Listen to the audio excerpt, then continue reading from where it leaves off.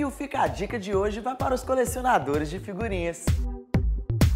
Para quem assistiu a matéria e ficou curioso sobre o ponto de encontro das trocas de figurinhas do álbum da Copa do Mundo, os colecionadores se encontram aos sábados e domingos a partir das 9 horas da manhã, na Avenida dos Engenheiros, número 525, que fica no bairro Castelo.